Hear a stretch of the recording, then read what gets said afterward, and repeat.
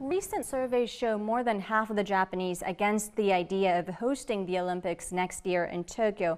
Are there any specific safety measures you can announce right now to alleviate some of their concerns? We, we will do our best to uh, prevent the coronavirus infection here in Japan and also to, to welcome the, the athlete from all over uh, the world. When will the vaccine, effective vaccine against the coronavirus uh, be ready, how uh, the, the vaccine be distributed, and this kind of thing is a very, very essential um, factor that we have to think about. The pandemic, COVID 19, is not only the matter of Tokyo, but also all over the world. So, this is uh, the enemy which we have to fight against. And which we have to win.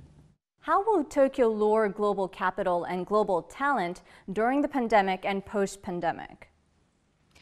Well, uh, the TMG has been working to attract foreign companies and uh, human resources through a variety of efforts.